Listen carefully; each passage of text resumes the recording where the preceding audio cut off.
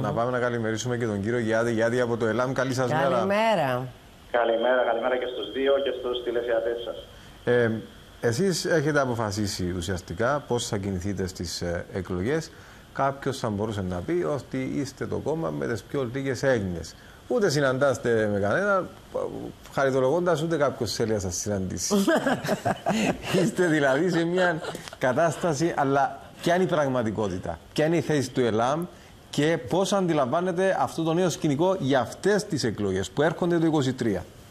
Λοιπόν, ακόμη και το ΕΛΑΜ έχει τα δικά του τρεχάματα, έχει και τις ε, δικές του δυσκολίες.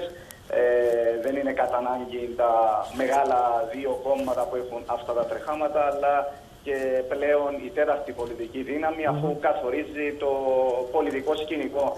Και επειδή έχετε πει προηγουμένως, θα δράξω την ευκαιρία με αυτό που είπατε, ότι ε, κανείς δεν θέλει να δει το ΕΛΑΜ. Ε, χαριτολογώντας το είπαμε, κύριε Γιάννη, για το όνομα Αντιλαμβάνομαι και εγώ χαριτολογώντας θα το αντιστρέψω ότι στο δεύτερο γύρο, αν η διαφορά μεταξύ του πρώτου υποψηφίου με του δεύτερου ε, καλά, είναι 3% και το ΕΛΑΜ πάρει 7% για παράδειγμα, ποιος δεν θα θέλει να βγει πρόεδρος της Δημοκρατίας, ποιος δεν θα θέλει να μιλήσει μαζί με το ΕΛΑΜ από εκεί και πέρα. Το Άρα κάποιος ε, αν δεν θέλουν να εκλεγούν πρόεδροι της Δημοκρατίας, αφού όπως λένε θέλουν να είναι πρόεδροι όλων των Κυπρίων.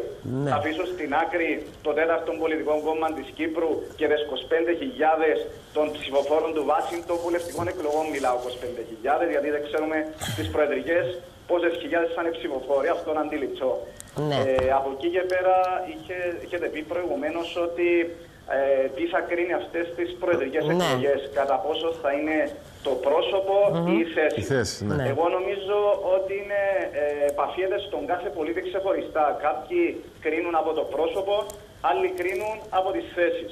Είναι και τα οι δύο κατηγορίες που θα εκλέξουν τον πρόεδρο της Δημοκρατίας και ο καθένας έχει τις δικές του κατηγοριοποιήσεις. Άλλοι ενδιαφέρονται για το Κυπριακό περισσότερο, άλλοι για το μεταναστευτικό, άλλοι για την οικονομία, άλλοι για το κοινωνικό κράτος και ούτω καθεξής. Εσάς τι σας καίει περισσότερο, τι σας καίει περισσότερο; Εμάς όλα μας ενδιαφέρουν περισσότερο είναι και το Κυπριακό καθώς χωρίς πατρίδα δεν μπορούμε να έχουμε ούτε οικονομία ούτε οικογένεια.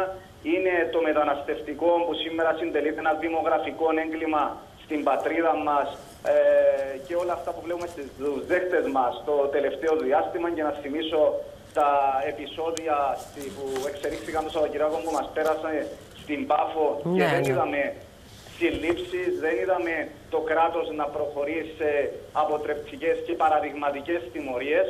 Ε, είναι η οικονομία που βλέπουμε τις αυξήσεις ε, σε όλα τα βασικά αγαθά και το λαθασμένο οικονομικό μοντέλο που ακολουθούσαμε όλα αυτά τα χρόνια ε, με αποτέλεσμα η κυπριακή οικονομία να βρίσκει, να βρίσκει τεράστια προβλήματα, λένε και το κοινωνικό κράτος, ναι.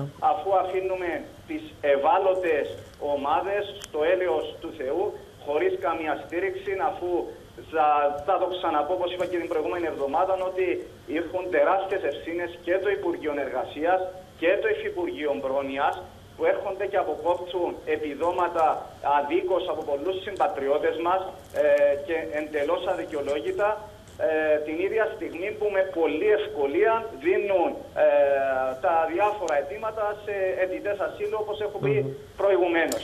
Ε, σας ποια είναι η άποψή σας, τι πρέπει να κάνουμε με το θέμα των μεταναστών; Ε, να τους διώξουμε δεν μπορούμε. Ε, κάποιοι λένε, όπως και ο κύριος Φέδωνος από την Πάφο χθες μας έλεγε εδώ, ότι δεν γίνεται και σωστή διαχείριση αυτών που έχουμε. Παιδιά πηγαίνουν στα σχολεία, είναι η πλειοψηφία, δεν μιλούν ελληνικά, δεν μπορεί να γίνει μάθημα. Στο τέλος ε, χάνουν και τα δικά μας, τα ελληνόφωνα τα παιδιά. Ε, τι πρέπει να κάνουμε; Λοιπόν, αυτό μπορώ να γίνει και μια μεγάλη ανάλυση. Μπορώ ναι, ναι, ε, ε σε συντομία, κύριε Γιάννη, μου, αν μπορείτε, σας παρακαλώ. Και μόνο λεκτικά. Και ναι, ναι, ναι. τη λύση είναι να έχουμε μια αυστηρή και συνάμα αποτρεπτική μεταναστευτική πολιτική. Mm -hmm. Δυστυχώς η πολιτική των επιδομάτων, γιατί έχω στην κατοχή μου στοιχεία και θα ναι. μιλήσω επακριβώς. Δεν γίνεται να δίνουμε επίδομα ενοικίου 400 ευρώ σε αιτητέ ασύλου, να δίνουμε 780 ευρώ για βασικές ανάγκες και άλλα χρήματα για τρόφιμα και ούτω καθεξής. Και, και Ε. σας αντιστρέφω το ερώτημα. Είναι διαφορετικά Αν- τα επιδόματα που δίνονται στους μετανάστες από τα υπόλοιπα επιδόματα, γιατί νομίζω στη ίδια βάση γίνονται και με τα θα, ίδια. θα, θα ρωτήσω κάτι. Σε ποιον Κύπριον πολίτη δίνουν 400 ευρώ επίδομα ενοικίου. Σε κανέναν απολύτως. Να το ψάξουμε για να είμαστε είναι σίγουροι και- για αυτό που είναι λέτε. Καιρός, Ναι. Είναι καιρός να γίνουμε κράτος Μάλιστα. σοβαρό, κράτος που σέβεται τον εαυτό του. Δεν γίνεται αν μπαίνουν μέσα αιτητές ασύλου να χτυπάνε λειτουργούς στο γραφείο ευημερίας Ναι. και εμείς να μην τους συλλαμβάνουμε, να μην τους α, σταματούμε τις αιτήσεις ασύλου και να τους απελάβουμε. Μάλιστα. Και στο τέλος τους επικροτούμε να συνεχίσουν το ίδιο και το ίδιο και το ίδιο γιατί αν πάει κάποιος μία βόλτα στο γραφείο επιμερίας της Λακατάμιας ή στις άλλες πόλεις θα δει τα διάφορα προβλήματα. Ας πάει μία βόλτα στο κέντρο της Παλιάς Λευκοσίας, ας πάει μία βόλτα στην Ανεξαρτησία, Ναι. ας πάει μία βόλτα στη Χλώρακα και θα δει αυτό Η που χλώρακα είναι μια χαρά τώρα, είναι έμπατο πρόβλημα. Έχουν μεταφερθεί. Αυτό Ναι, είναι ναι. άλλο μεγάλο πρόβλημα που θεωρούμε ότι με το να τους μετακινούμε θα Ναι. επιληθεί το πρόβλημα. Πρέπει να δημιουργηθεί κλειστή δομή για να, δημιουργη- για να δημιουργήσουμε την λεγόμενη αποστροφή. Ναι. Να ξέρει ο άλλο που θα έρθει, θα έρθει μόνο αυτός που έχει την ανάγκη Μάλιστα. και χρήσης βοήθειας. Δυστυχώς σήμερα το σύστημα που έχουμε έρχεται οποιοδήποτε θέλει να εκμεταλλευτεί την Κυπριακή Δημοκρατία. Ευχαριστούμε κύριε Γιάννη. Και μια κουβέντα σε σχέση με Ε, το Ελλάδα άστε το αυτό και για την σημείο. επόμενη φορά, γιατί θα Δώστε κλείσουμε. μου δέκα δεύτερα. Δέκα δεύτερα τα Οι μετράω, πρόβλημα κύριε Καυκαλιά. Δεν μπορεί έχουμε χρόνο. να συναντηθούν ε, με το ΕΛΑ. Καμία συνεργασία μπορεί να συνομολογηθεί Μάλιστα. ε, με το Μάλιστα. ΕΛΑ. Και Ευχαριστούμε. τα Ξεκάθαρα. διέξοδα της κοινωνικής πολιτικής και των αδυναμιών που παρουσιάζει Ναι. η κυβέρνηση ε, δεν μπορεί και δεν πρέπει να τα φορτώνουμε όλα στο Να είστε καλά. Μάλιστα. Να είστε καλά. Να είστε καλά. Κύριε Γιάδη, έχετε δύο λεπτά. Εγώ, αντίθετα με τον κύριο Καυκαγιά, θα αξίσω από κάπου διαφορετικά. Ανάμεσα σε τέσσερις βασικούς υποψηφίους υπάρχουν δύο πολιτικές προσεγγίσεις. Ε, είναι δηλαδή τρεις κυβερνητικοί υποψήφοι που έρχονται από το στρατόπεδο της κυβέρνησης και υπάρχει και μία αντισυστημική υποψηφιότητα που είναι η υποψηφιότητα του ΕΛΑ. Επειδή έχω ακούσει πολλές φορές δημόσια, εντάξει, να αφήσω εκτός το δημοκρατικό συναγερμό που είναι ξεκάθαρο ότι η πολιτική του προσέγγιση είναι να συνεχίσει τη διακυβέρνηση Αναστασιάδη. Έχω ακούσει πολλές φορές όμως το ΑΚΕΛ, το ΔΙΚΟ, την ΕΔΕΚ, το ΔΥΠΑ να λένε ότι θέλουμε αλλαγή της διακυβέρνησης Ανασ- Αναστασιάδης. Και δράξω τις ευκαιρίες, δράξω με τις ευκαιρίες να τους απευθύνω κάλεσμα. Αν θέλουν αλλαγή, τότε μπορούν να στηρίξουν το εθνικό λαϊκό μέτωπο, που είναι η μοναδική αλλαγή σε αυτόν το πολιτικό σκηνικό που βλέπουμε. Δηλαδή, βλέπουμε, έχουμε τρεις υποψηφίους που έχουν κοινέ θέσεις στο Κυπριακό, κοινή θέση στο μεταναστευτικό. Είναι η συνέχεια της διακυβέρνησης του Αναστασιάδη, ενώ από την άλλη βλέπουμε υποψηφιότητα του ΕΛΑ, που έρχεται ενάντια στη ρατσιστική λύση διζωνικής δικοινοτικής ομοσπονδίας και φαντάζομαι το ακέλο σε έναν κόμμα που λέει ότι είναι κατά του ρατσισμού. Καταδικάζει και τη ρατσιστική διζωνική δικοινοτική ομοσπονδία.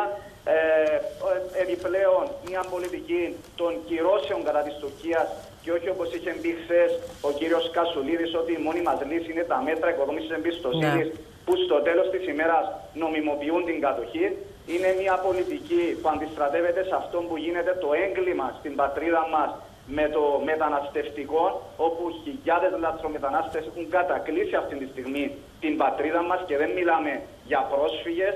Βλέπουμε τις πραγματικότητες, βλέπουμε τι συμβαίνει πραγματικά, βλέπουμε πρόσφυγες από την Ουκρανία να είναι γυναικόπαιδα, να έρχονται ηλικιωμένοι και βλέπουμε από τις υπόλοιπες χώρες να έρχονται νεαρά, νεαροί άντρες, χωρίς γυναίκες, χωρίς παιδιά, χωρίς ηλικιωμένους. Ε, νομίζω πλέον είναι αντιληπτό στον καθένα ότι Μάλιστα. ε, συντηρείται μια κοροϊδία Ευχαριστούμε. στις πλάτες του Ναι. Κυπριακού λαού που καλείται να πληρώσει από Ευχαριστούμε την πολύ. τσέπη του, γιατί αυτά τα κονδύλια είναι από τον κρατικό προπολογισμό Ναι. και όχι το παραμύθι που λέμε από την Ευρωπαϊκή Ένωση. Μάλιστα. Και για να το κλείσω, απευθύνω κάλεσμα σε όσους θέλουν να κάνουν την αλλαγή, να στηρίξουν υποψηφιότητα του ΕΛΑ.